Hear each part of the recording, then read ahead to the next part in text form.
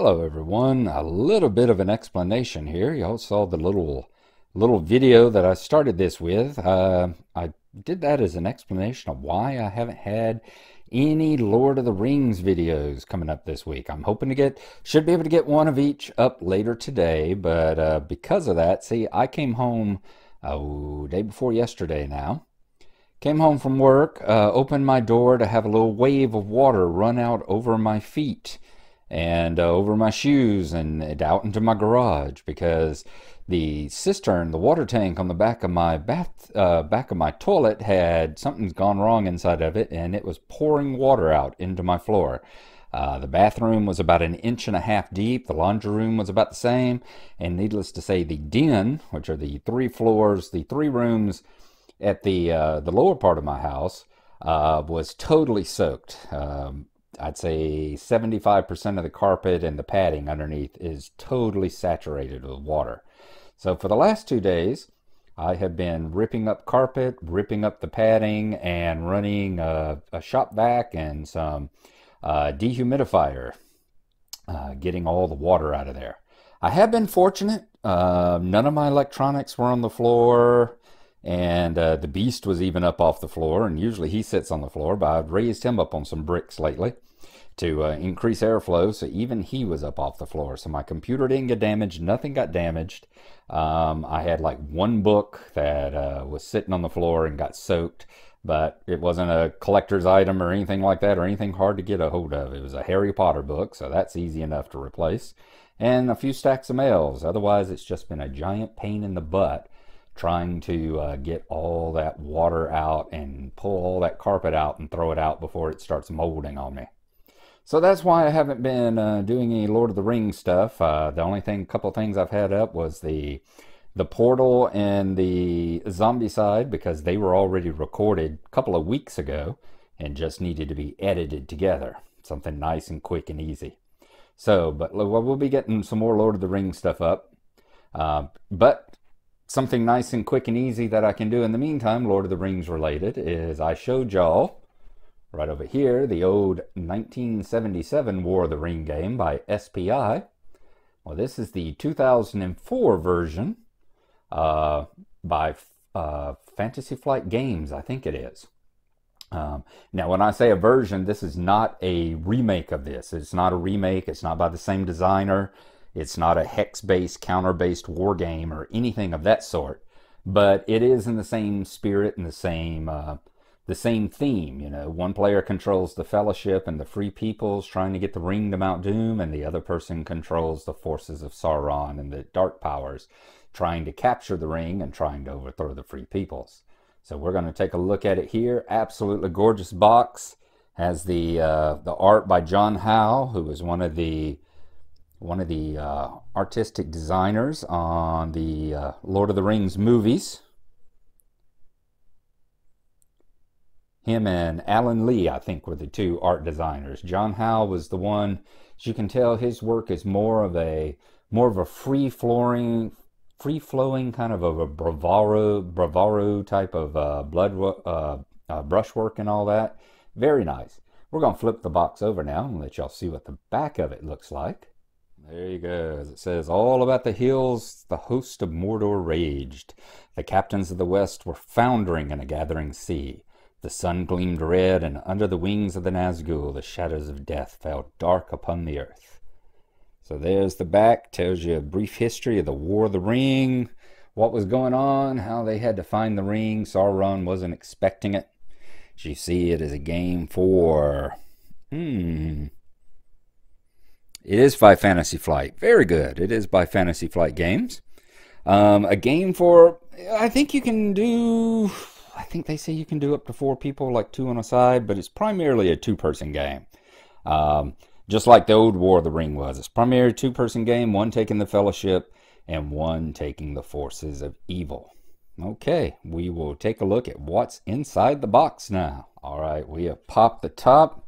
As you see here, you've got the Fantasy Flight Game Spring Catalog for 2004. So be sure to uh, take a look through it and make sure that anything you want to order in spring or summer of 2004, you've got a good idea of it. Next up is the quick start rules.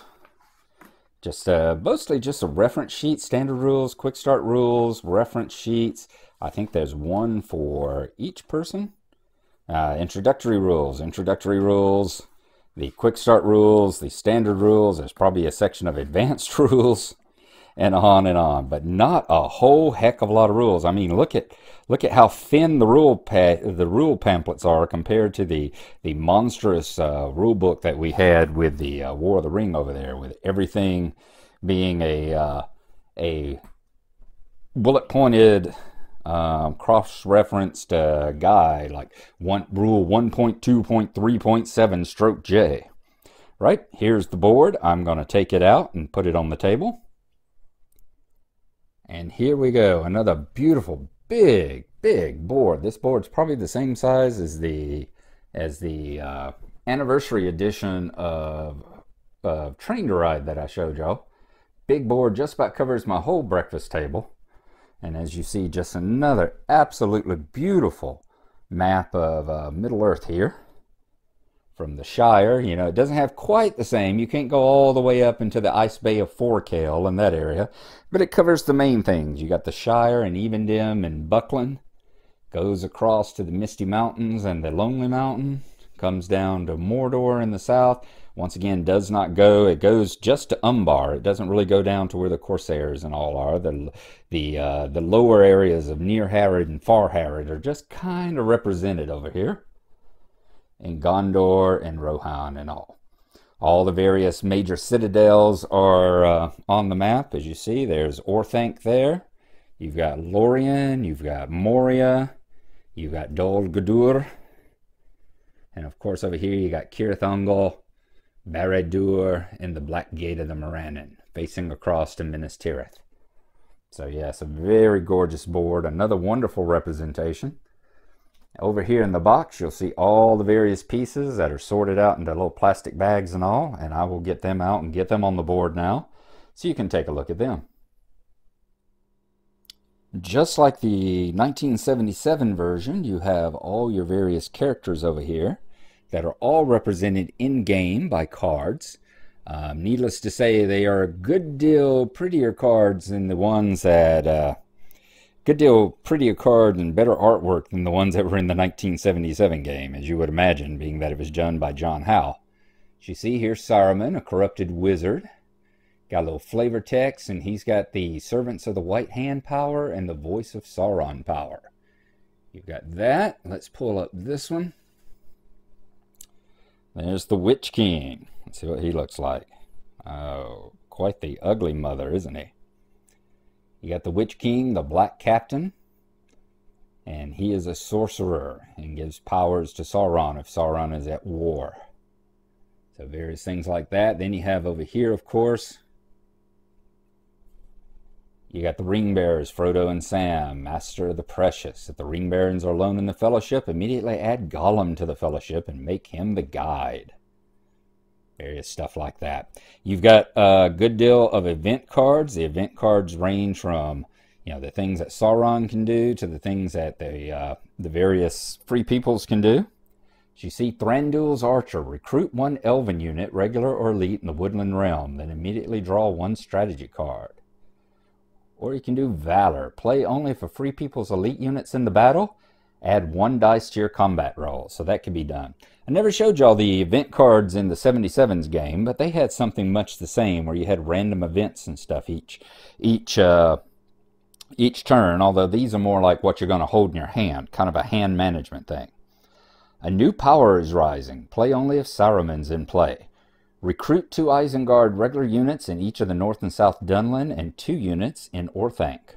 Or you can play the Great Host. If after resuming casualties, your units are at least twice the number of the enemy units, the Free People's player must immediately take one casualty. So each one has kind of an event, and each one has kind of a use in battle that you can do in, as well.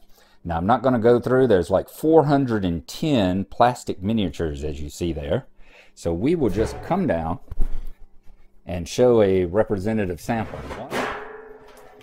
Sorry, just knocked over a sliding chair over there.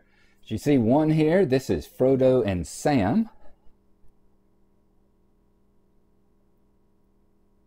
They always share a counter together because they are practically inseparable. And of course, it says if they are by themselves, you add in Gollum to the mix. You have other uh, hobbits. I think that's, uh, judging by the armor, that's uh, Peregrine there. There's Gimli. And Gandalf the Grey. So you have those various items. That looks like that may be Trying to see who that is. Is that Theoden? I think that might be Theoden there. So you got those. On the other side, you have a variety of units. There's all sorts of ground units, uh, orcs and Haradrim and stuff like that. But then you also had the Warg Riders. Very pretty little miniature there. You have, oh, there's a Rohirrim. So you got your mounted units for the free peoples as well. Here's a Mumak, an Oliphant. So you've got the Mumak units that the uh, Dark Forces can use. And of course you have the nine Nazgul. And I'm thinking that right there, being that he's got the crown on and that sword in his hand, I'm thinking that is probably the Witch King right there. So there you go. And a lovely, lovely assortment of, of custom dice there as well. So there you go. That is the War of the Ring. I am hoping to uh, get to play it at some time. I've only ever played this game once, a complete game. I played kind of the solo variant a couple of times, but only played it once with an actual other human opponent um, in the, what is it, 12 years I've had it now. But uh, yeah, like I said, this is the first edition. I know the second edition is out now and uh, ranks quite highly among board game the board game fans on Board Game Geeks and the War Gamers. So uh, I will be downloading the second edition rule book, and uh, maybe I'll see it on tabletop sometime. I know there's a version of it out there. So thank y'all for uh, joining me once again. I apologize for not being able to get around to producing uh, some more videos uh, quite yet. Um, I've got to get this flood handled and taken care of. Pretty much all the, the carpet and all's ripped up. All the 90% uh, of the water problems taken care of. Now it's just dealing with the insurance companies. So we will see you next time. Y'all have a good one and keep on gaming. Bye-bye.